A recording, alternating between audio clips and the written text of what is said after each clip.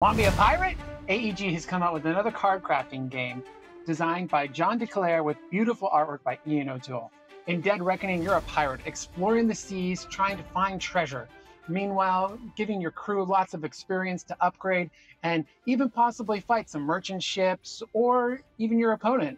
However, don't worry, the warfare is very friendly in this game, which is something I quite like. On your turn, you have a hand of cards that you can pick from that are going to help augment the actions you can do.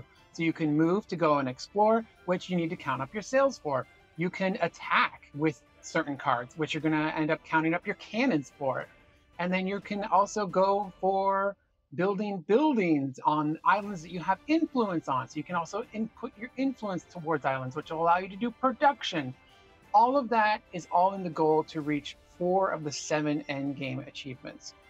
Once you've done that, you've triggered the end of the game, and the person who has managed to collect the most treasure at the end wins. This is a beautiful game with some stellar components. So let's take a look inside the box.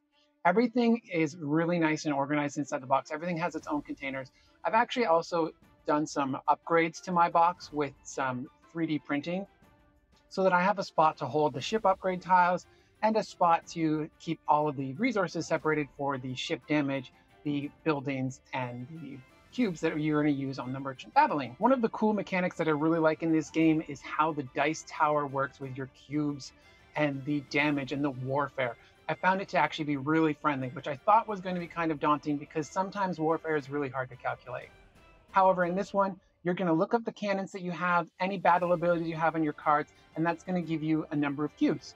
You and your opponent, whether that is the a human player that you're with at the table or the market ship that is on the board is going to get their own um, number of cubes. You put them together, drop them through the dice tower, which is this cool little ship, and they land in the ocean, and wherever it lands is what's going to happen. And if some of your cubes land on damaged spots, well, then your ship takes damage. At five damage, you're not out of the game. You just sink your ship and you go back to the beginning and you get to start all over again, which is also great. I don't like player elimination.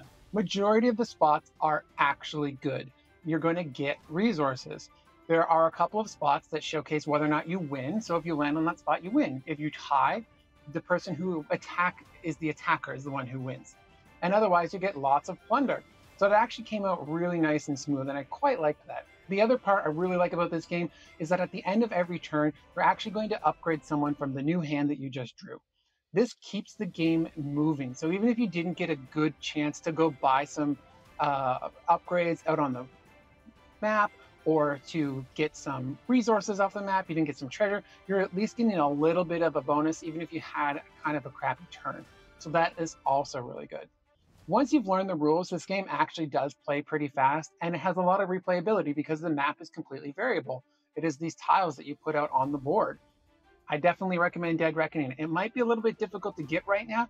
They just finished their Kickstarter launching a new expansion, so it might be coming again to stores as well as to their online site. So give that a check out. And make sure you give me a check out to stay up to date with the latest board game reviews. And let me know in the comments below what's your favorite pirate.